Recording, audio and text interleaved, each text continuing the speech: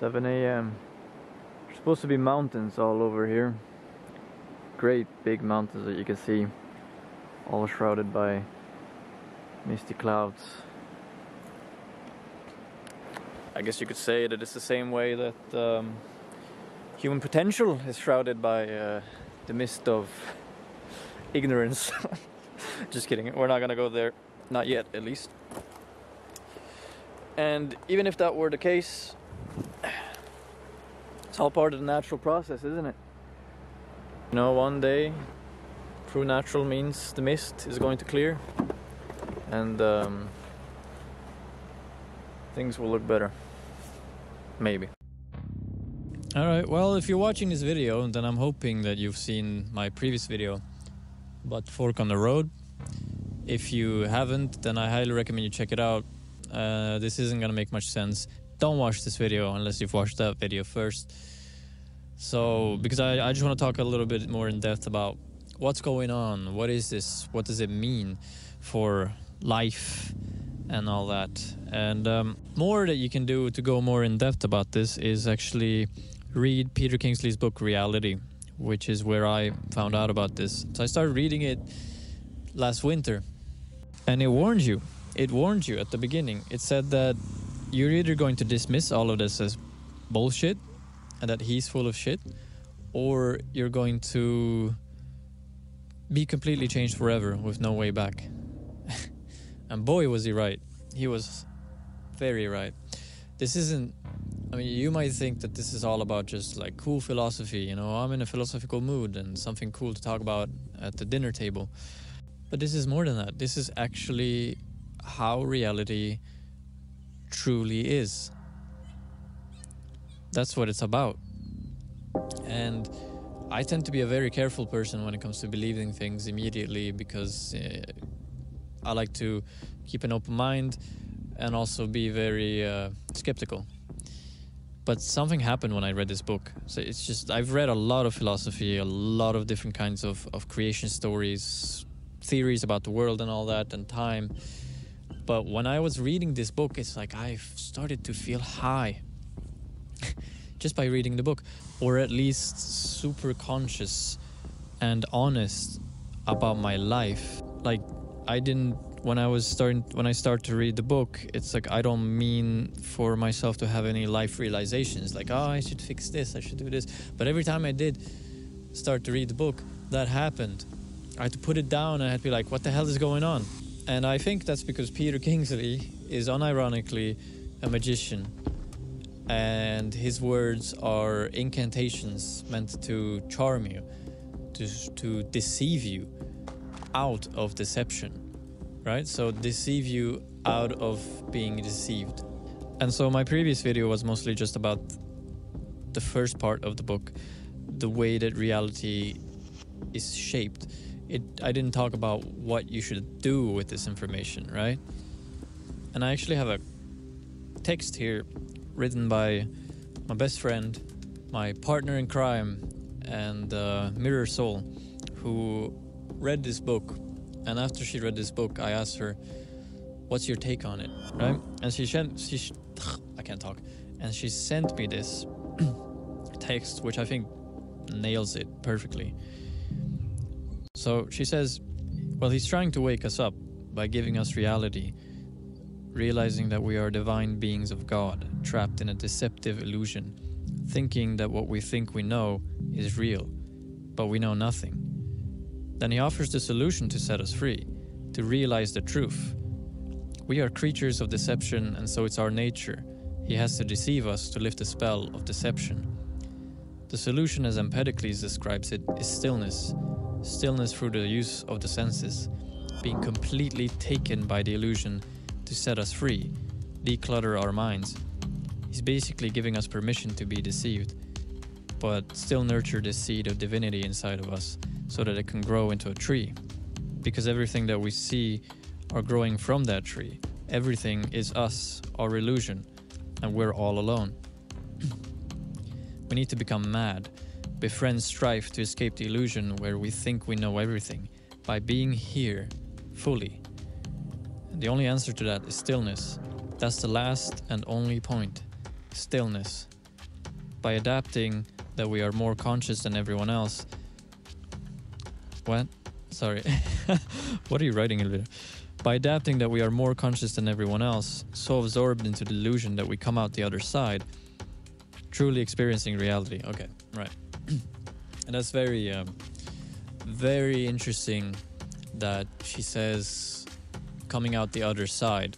Because as far as I know, the person who wrote this is not aware of Kabbalah and all these um, occult mystic ideas at all. But uh, she somehow still understood that by embracing this illusion that we live in fully, you come out the other side towards spirit. And that is one of the number one key points of the Kabbalistic tree of life.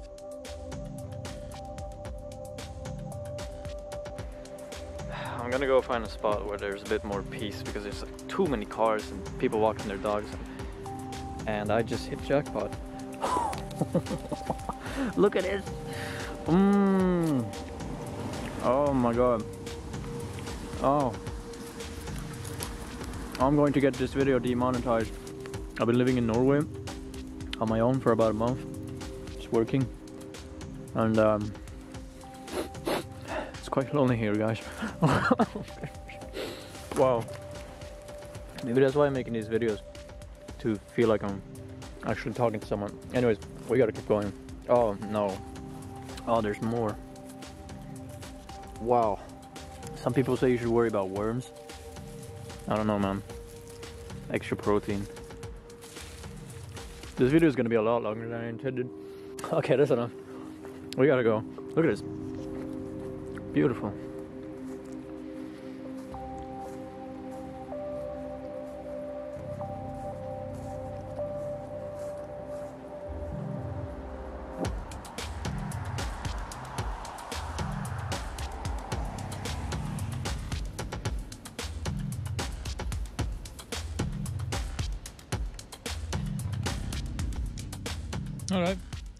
Just going to speak about this here.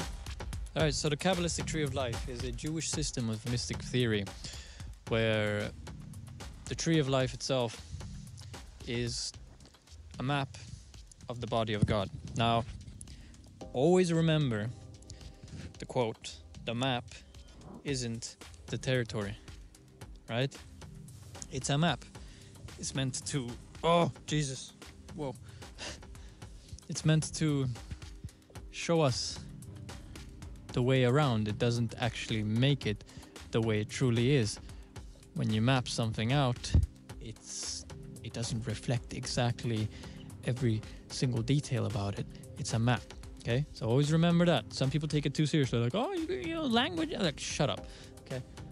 So the absolute, the true one, God, uh, as He truly is, encompasses this whole tree. Okay?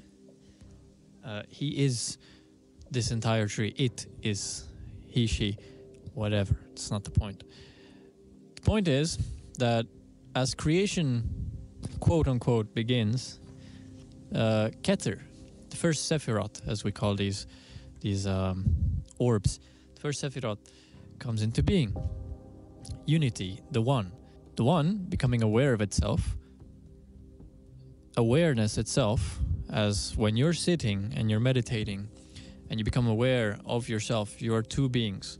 So it creates polarity. That's the first thing that's created. It creates number two, Chokmah.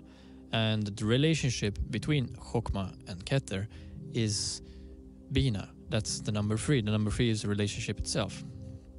Uh, this is very oversimplifying it.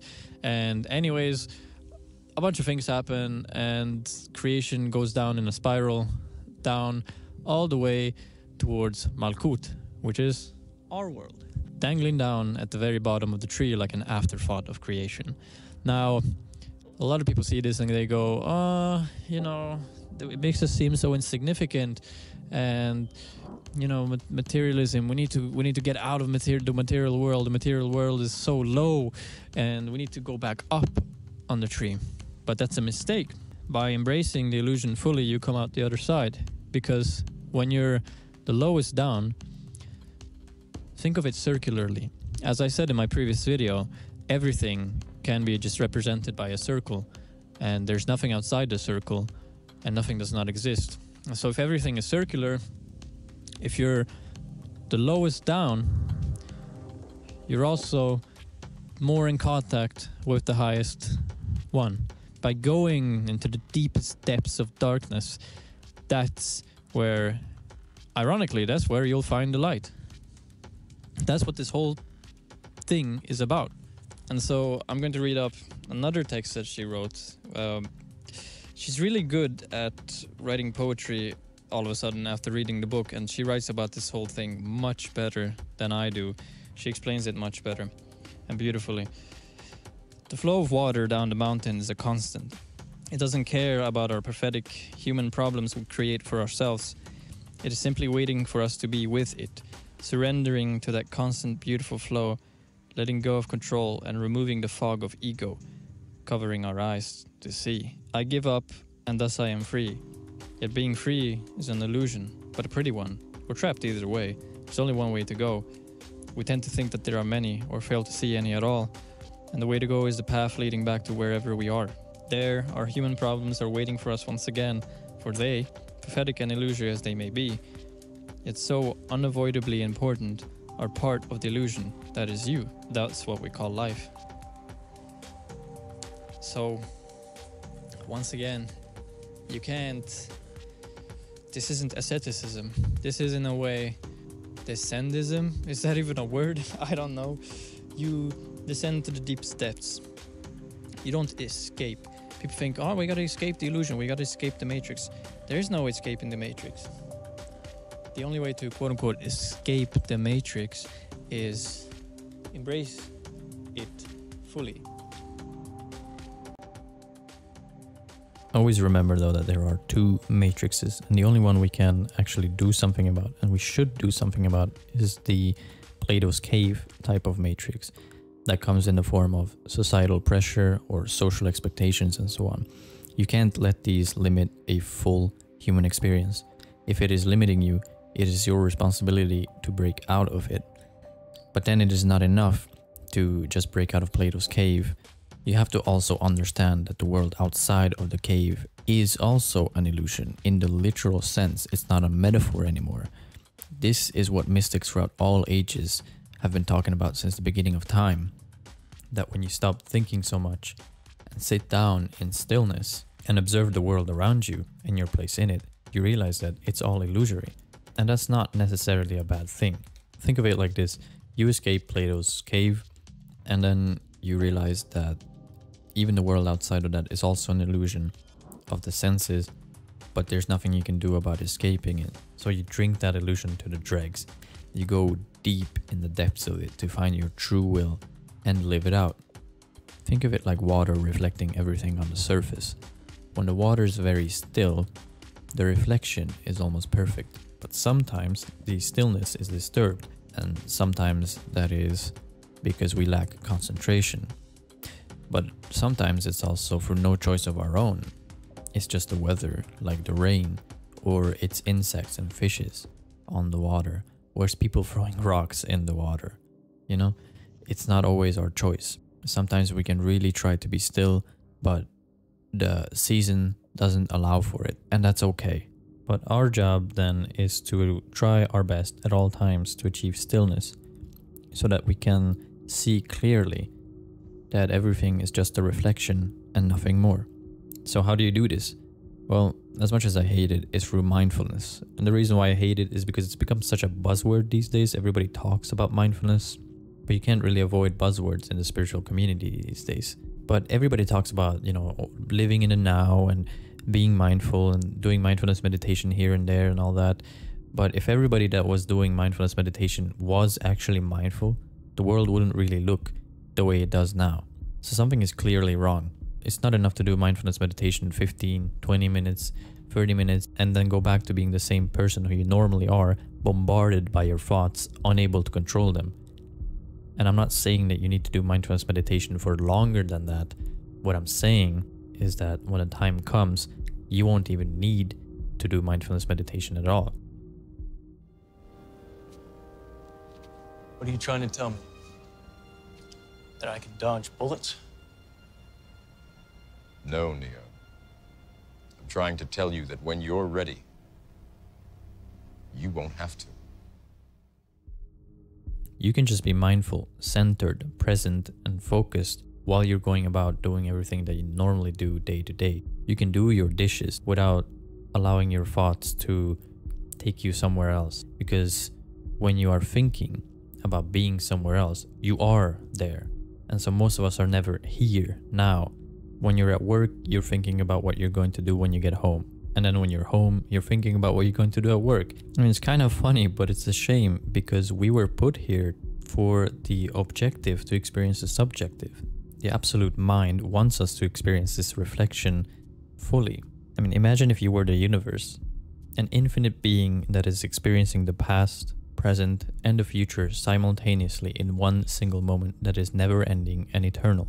Since time is one for you, movement doesn't happen, and everything is still. Wouldn't you want to experience the universe subjectively, where past, present, and future are seemingly separate and things actually seem to be moving from one place to the next? What better way to do that than in the human experience? This might be what the Bible means when it says God created man in his own image.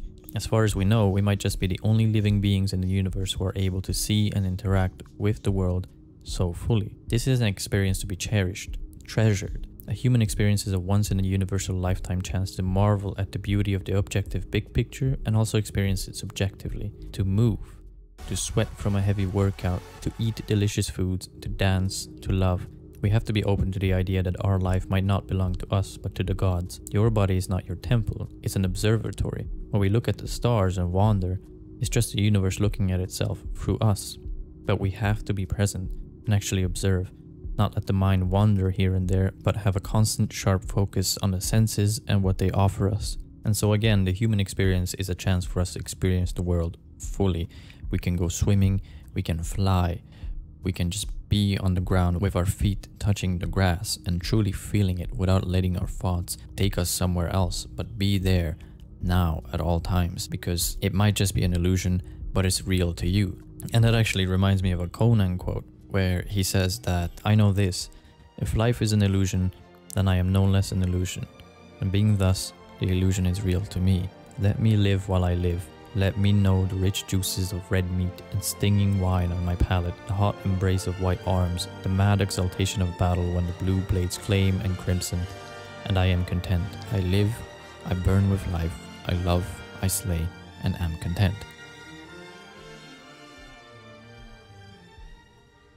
So what this is all about is exercising your true will. It's like Aleister Crowley said, do what thou wilt shall be the whole of the law. And contrary to what many people believe about this quote, it doesn't mean that you can go ahead and be a self-centered, hedonistic person doing whatever you want. It's not about what you want, it's about what your will is. And finding your true will, for that first, you need stillness. You need to go down to the deepest depths of the earth to find your true will and then do it. And you can't allow anything to hold you back from doing it because this is your divine purpose here on earth. You are the universe completing itself through your experience because without everything being and every opportunity having have happened, everything that has the potential of happening has to happen for everything to be everything. The all can't be the all if all hasn't happened within it. So your unique experience is necessary for the all, the universe, to be complete. And having this realization puts a tremendous responsibility on your shoulders. You suddenly realize what you really are, and it's simultaneously serious, but it also makes everything all the more fun when you actually start to exercise your true will. And you need to be doing all of this with hyper focus, being conscious of it, because falling away from the path of your true will is extremely easy to do. And unfortunately, that's why most people still find themselves on the crossroads without knowing that they're there. And all of this that I'm talking about isn't really anything new, it's been around. It's what every religion, every mystical society has been trying to say since the beginning of time that you just need to live life fully and live it well according to your true will consciously, but I didn't really get it before, and I think most people don't get it. And for me, what worked was Peter Kingsley's book, Reality, that interpreted Parmenides' poem on nature. And now that I see it, I see the same message everywhere else. Whatever other mystical, esoteric text that I read, I see this message in it, and I can't unsee it. And I don't know why it was specifically reality that worked for me, but it did. And maybe it might work for you too. And that's why I'm making these videos is because it's not that well known and I just wish to put it out there because perhaps it might just bring us closer to completing the circle.